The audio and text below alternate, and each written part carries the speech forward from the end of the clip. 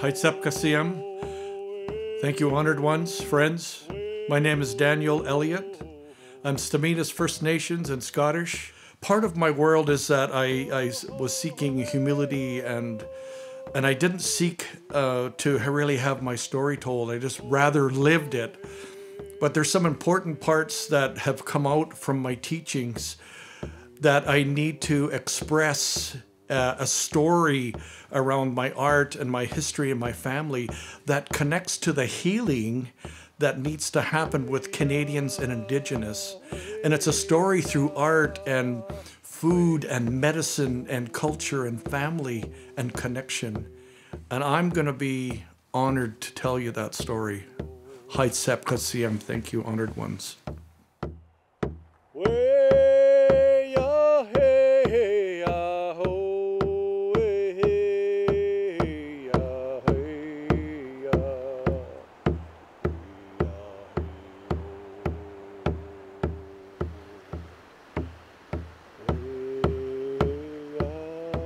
I struggled with the relationship between Western ideologies and systems and cultural appropriateness for Indigenous people. And I remember feeling really frustrated about not having the words, not having the language to describe what was, what I'm feeling, how I seen things that needed to come out. And, and I was like, wait a minute, I'm an artist and I can paint.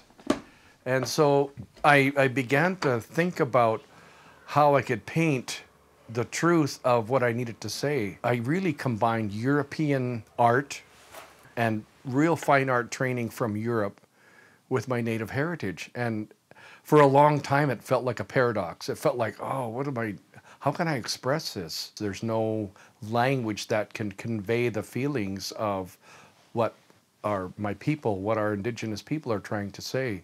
So this art was about what was beautiful about our culture, what was the interruption? We know the interruption, colonization. So a few years ago, 2019, I decided to paint uh, the Winds of Change, Truth, and that's where Truth, Art, and Reconciliation is born out of. And I am so honored to be able to share that teaching and those experiences in a way that have not been a part of the whole Canadian vision. I am just filled with emotion in this whole body of work. And so to, to tell this story and how it began, I guess is a game changer for me because I've been a part of my own reconciliation. And I wanted to give a sense of what was beautiful about our culture. So I did one that was before part of the uh, collection of Winds of Change. And it leads itself into the connection that I wanted about what was beautiful about our culture. And so I painted um, almost like a Japanese woodblock kind of painting. And the horizons disappearing in the dark and and the snow on top of the longhouses.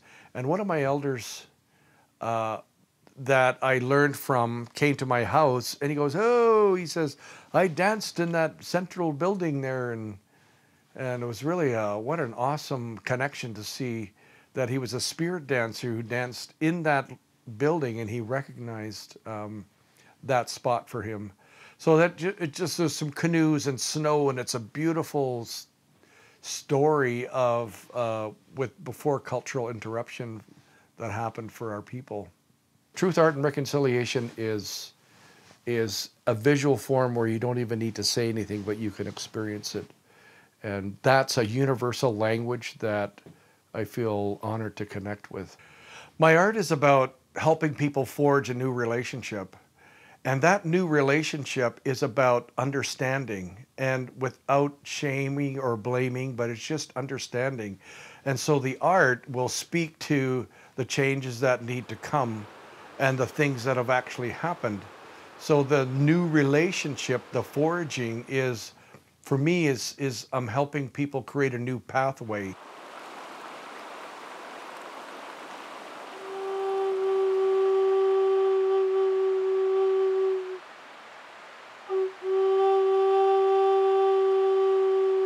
Oh, the winds of change. Uh, when I was uh, 13 and we were up in um, a little long inlet up the north end of Cortez Island, we were digging clams in the summertime, and it was really it was hell for kids. But we were working hard, picking clams on a hot summer day, and we would get thousands of pounds of clams. But the wind would always come up, a breeze would come just when the tide would change to come to flood. And uh, so I was always praying for that breeze to happen. And it, that was the winds of change. And really, for a lot of my work in my life, I've rested uh, those pieces. And the winds of change is the work uh, around reconciliation and the truth in a visual form. Cooking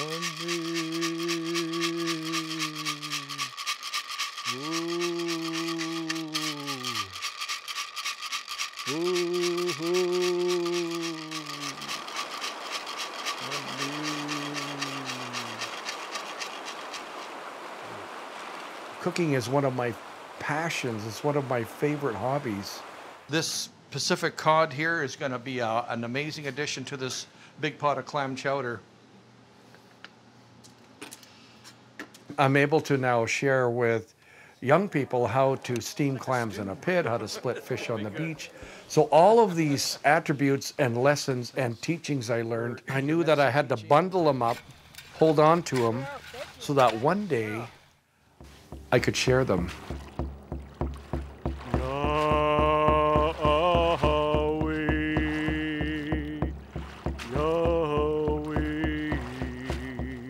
Recognized that I wanted to help empower people, so I was coaching, and but the counseling was a, a game changer.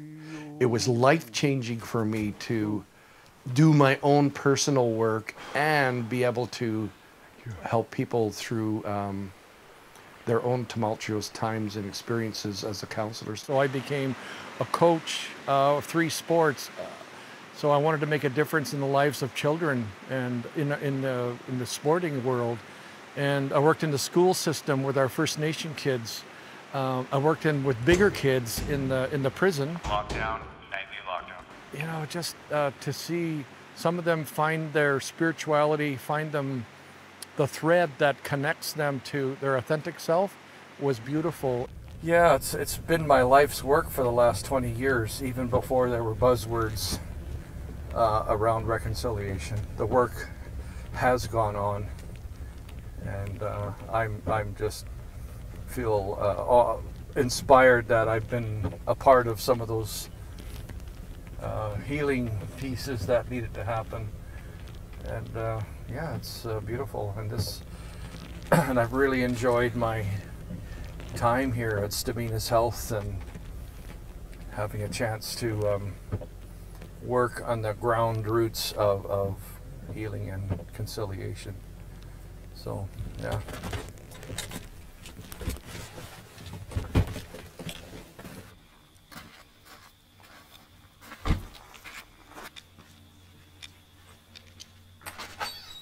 Hi, good morning, Anita.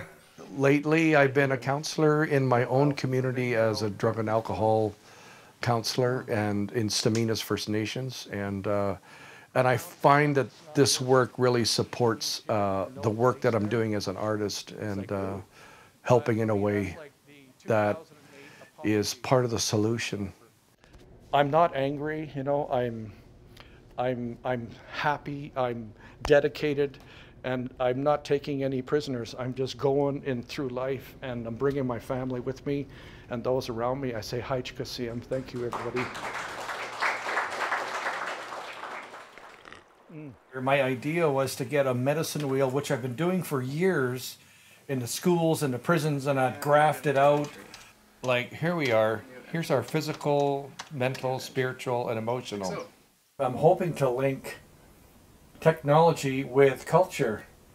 So I really appreciate the work you've done on this, Dan. Like I can take. Um... I decided uh, leaving leaving the field uh, eventually. I wanted to create an app uh, and it's a balance of a medicine wheel. And the balance is we have four parts to us, and the app is you can scale it and you can add uh, direction or you have an understanding of where you are right now in this moment based on what I chose to mark as my uh, numbers uh, around where my balance is in each mental, spiritual, physical, emotional being. So you have these numbers and then you can go, oh.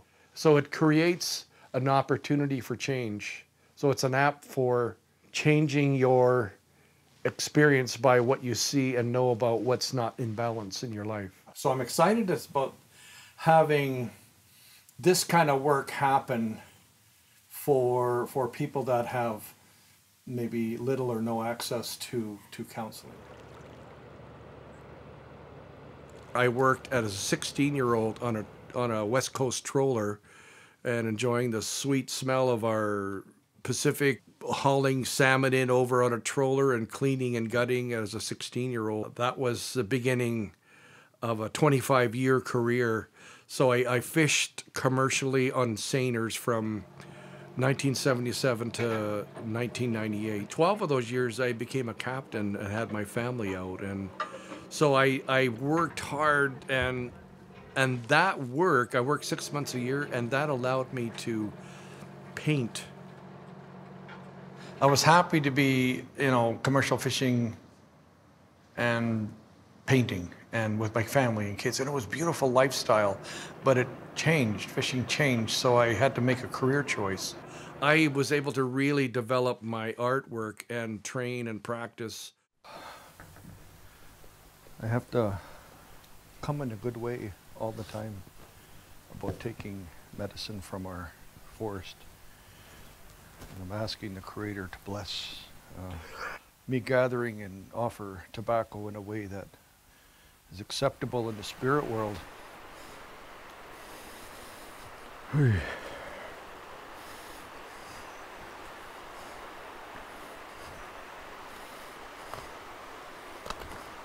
Being out there and sharing traditional medicine and gathering and and I just felt uh, a very special connection so I'm taking something and so I'm giving something back. So I just want to give thanks, even for a little bit. It's around, it's a teaching for me to always respect what I'm taking. So I say thank you with some tobacco. So there's lots of powerful parts to this Devil's Club. It's a very, very distinctive smell to it. Very honored to harvest in this place here the whole area is medicine. The whole area is a sacred place for our people. Wow, uh, January 30th, 1973, I turned 13. And that was an amazing uh, time in my life. It felt like uh, there was convergence for me and I felt like for the first time in my life, because I've been drawing and I've been uh, trying to express myself as a, a, very young artist. You know, we were playing outside. Okay, come on in and eat. Hey kids, cake's ready. You got this cake. I remember getting cake back in uh, the 70s.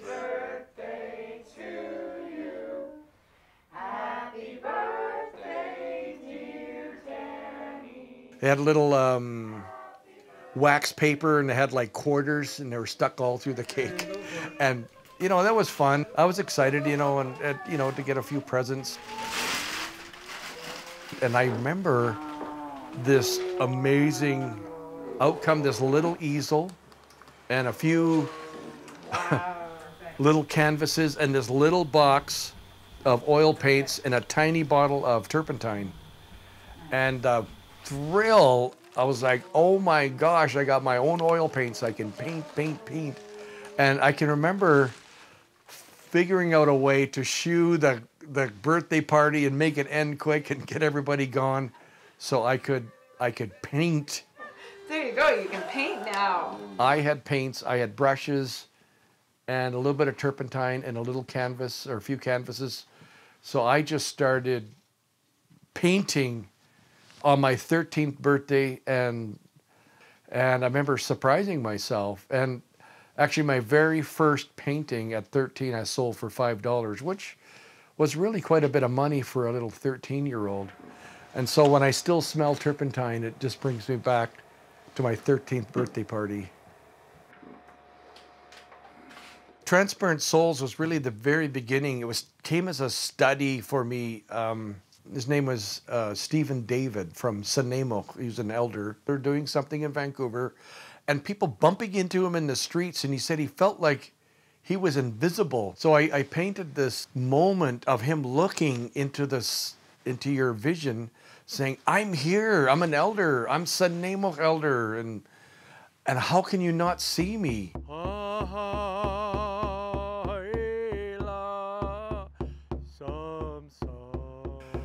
I wanted to paint um, my grandmother's story of her uh, getting out of Kuper Island Residential School, and I called it the Smoke of Torment.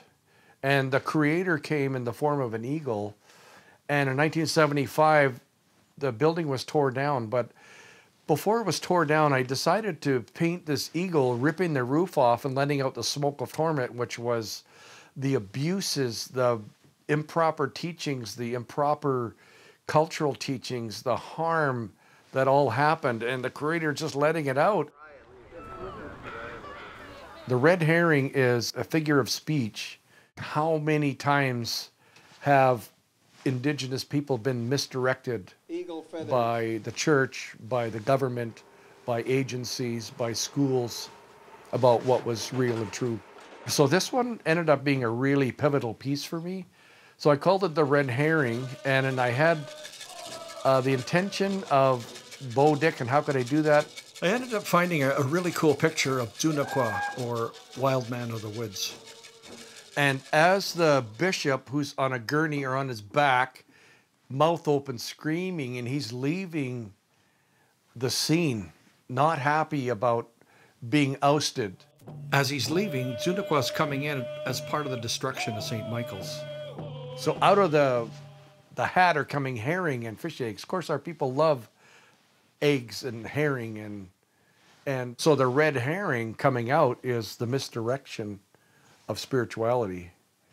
So I painted, you know, the this wonderful picture, and I just feel so beautiful around painting my granddaughter and and in the kelp doll, and I wouldn't let her see it. I I said no, you can't see it. And finally, when it was done, it was about a month uh, when it was finished, and I went, Sophia, it's ready. Come on down. Come, Come and see your portrait. See well, she ran down and like the Matrix, she was sliding on the floor here in slow motion. She's like, oh, and it's like she's seen herself, uh, a double of herself, and also somebody from maybe 200 years ago. And it was such a, an, a surreal scene to see her uh, almost like looking in a mirror, but not a mirror. And so what a what a beautiful moment. And and then she was just kind of gobsmacked with her mouth open, going, "Oh my God, that's me."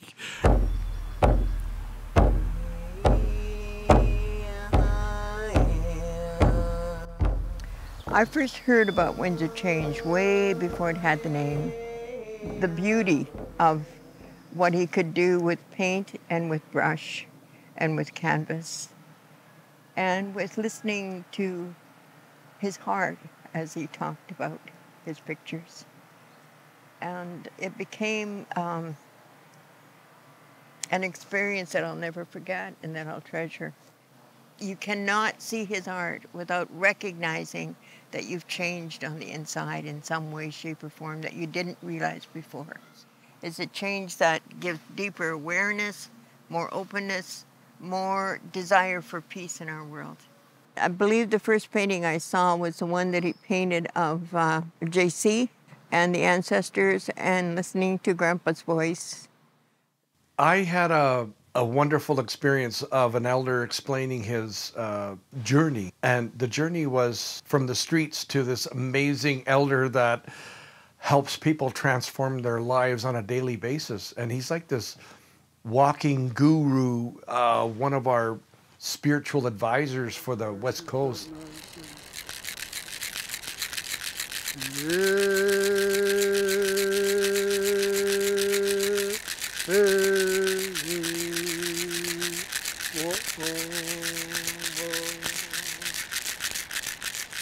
So this watercolor is about him and his grandfather drumming him and singing out of out of the streets and into uh, never drinking a drop, going into treatment, and becoming an elder that people are just absolutely in, enriched and enthralled by his wisdom, knowledge, and healing powers and connection to the Creator.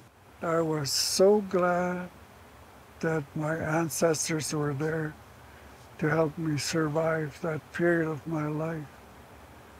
So you nailed it there, and I really appreciate that painting. When I seen my picture on, uh, I didn't, I couldn't believe. Excuse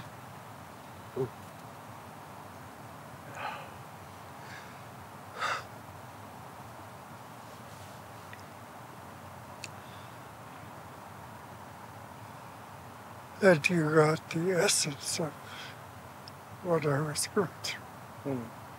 True. I found ways as a young man and a young father to interrupt those institutions and governments and policies and things that need to be interrupted and changed. And that's the change that I've been uh, asking for, I've been looking for. People will understand that so they can heal in a way that allows the interruption and the change and the break in the cycle. So that's that's the powerful intention I have is to have this work carry on beyond beyond my days. When I read the story about Kingcome Inlet and the it always bothered me to see this totem pole right beside the church, like this conflicting energies bouncing off each other and just like, oh, this is just so wrong. So I call this one the Silent Mountains because Kingcome is so remote and is only accessible by air or water. These elders decided in 1922 to ask the Indian agent and the priest to carve a pole in honor of King George. And they thought, what a great way to assimilate these guys. So they agreed to it and uh, they said, but you have to put the pole beside the church so that we know you know who the right God is and all that kind of stuff. So to this day, the King George pole is beside the steps of the of the church, which still exists. And how brilliant these guys were actually a form of conciliation because these they said, but in order for us to carve the pole, we have to do ceremony. And they were like, okay, you know. So for a year, they feasted and they danced and they celebrated against the rules of the country for not dancing and not feasting during a potlatch. So this was very clever. So this was really uh, some of the first forms of conciliation. And they were like, we're here with our spirituality, just like you. You know, reconciliation, it's kind of like a buzzword that floats now, and it's almost like you can't anchor it down. And I don't really want to define what reconciliation is, but just the word in the dictionary is about reconciling differences between two groups or two people. But it's more than that. It's about how we can come together in a way that is so healing and helpful it's a big word, and we're in the middle of it as Indigenous and Canadians. And I see so much stuff happening, and I'm, I'm thrilled and I'm hopeful for what's going to come out of it. After the winds of change and uh, truth, art, and reconciliation, this body of work, uh, I, I, I sat out of bed one morning and I went, "Where am I going to go next with this whole art thing?" And and uh, and I have a way of sealing watercolors so that I can show them without glass. But what came to me was I'll do part of a painting in watercolors and seal it and then finish it in oils. So there's a piece called Conciliation, and it's the after part, it's the aftercare of reconciliation. and and I wanted to do something that spoke about coming together as Indigenous and Canadians, and what does that look like? Like oil and water can't mix, but sometimes they can come together. And so I did a piece, and I found some product that allowed me to paint part watercolor and part oil. It's a street scene. On the left side, it's got buildings and totem poles, and instead of windows, it's drying fish, and a canoe is surreally paddling down a street.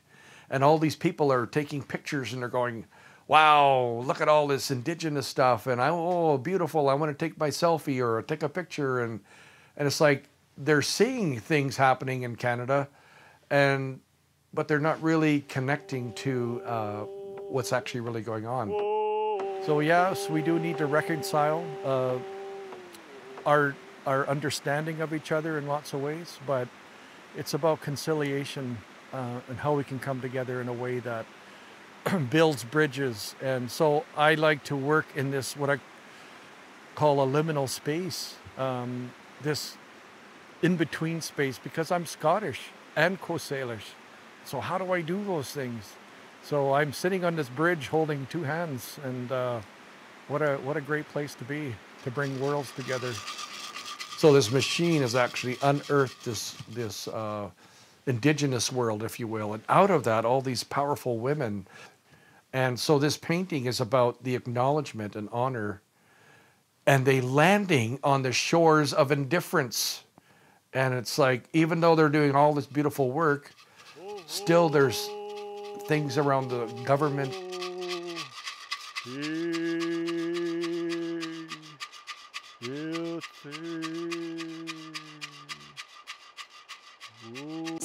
I think is really important about Daniel's paintings is that he's created 14 separate works. And they all tell a story. They all combine to tell a big story. And I was thinking about his works and how each one of them is like a chapter in a book. You know, they all are very relevant, they're very important on their own, they stand alone. And yet they all work together to create this, this big piece called The Winds of Change. I feel so uh, validated by uh, your guys' warm welcome and the dancers. We're moving into a new chapter. We're going to try something different. We're going to become uh, a better way of being.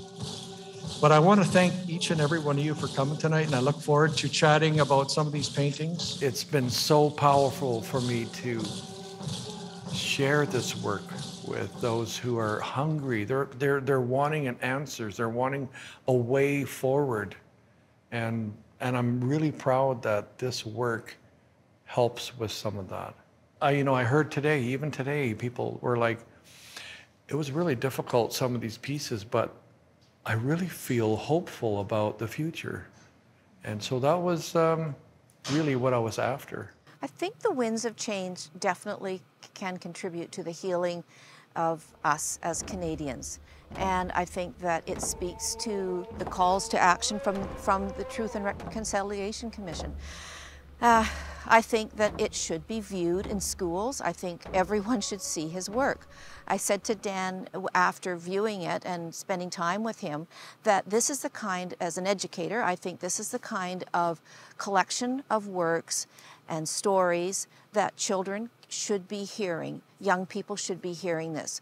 Older people should be hearing this. Older people should be viewing his work.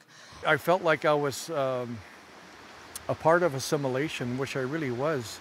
No language, no songs, uh, no cultural dances, no connection to my elders. So I was I feel honored to have had some amazing elders in my life that I interrupted that whole piece around assimilation.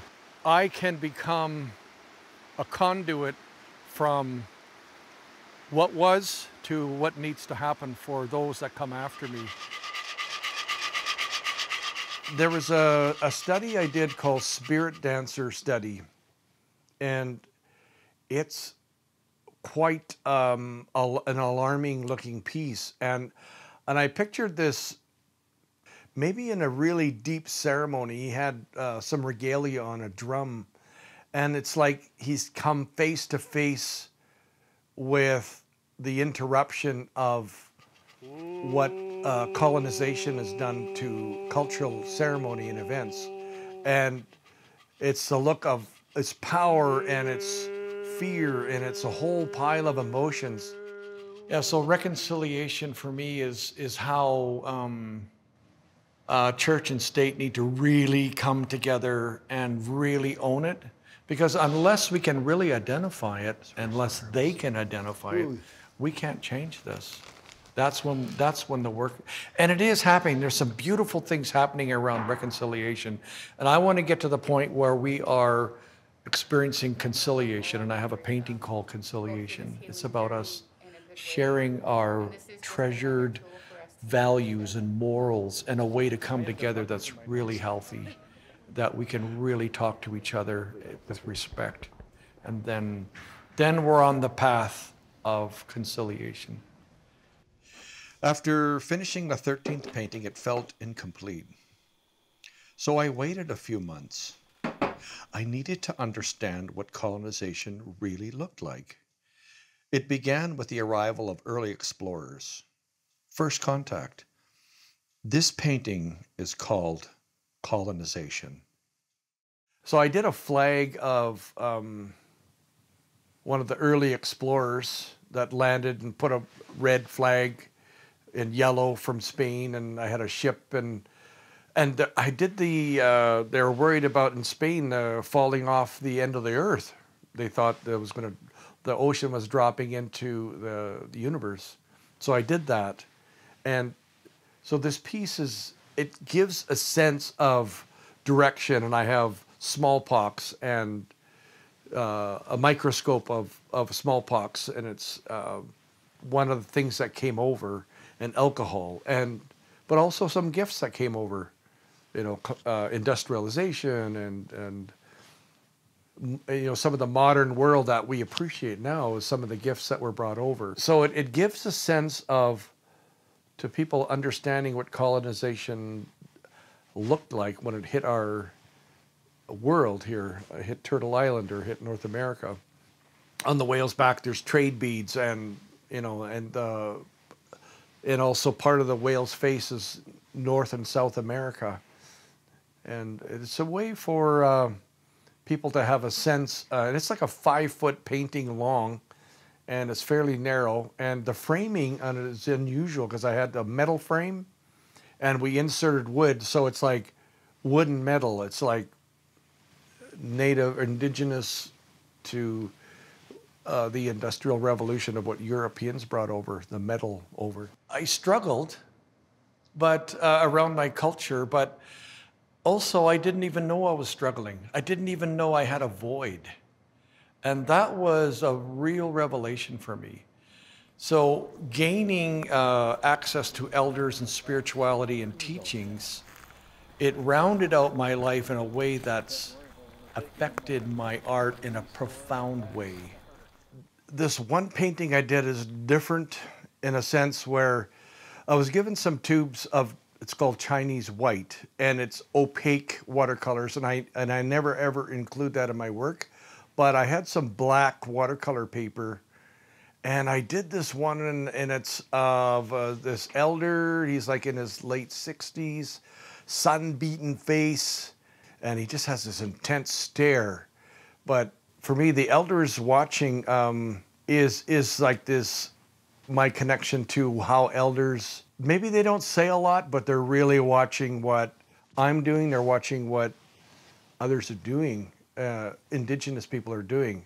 I'm sharing that in a way that uh, I feel very deeply honored and privileged to be in that place in my life to share that truth, art, and reconciliation. I'm ready. I'm ready for the world to see my work. I come to this place, this is one of my medicine places. I gather medicine. I come here for uh, shukums or cold water bathing, spiritual baths. And the cottonwood trees here are pro providing medicine. All through this river delta here is medicine. And the teachings are that we can come out here and we can come out here as indigenous or non-indigenous and we can feel the rhythm, the rhythm of where you feel spiritual, where you feel connected. So you can write your own song, you can sing your song because this is how it was done long ago. You find your song.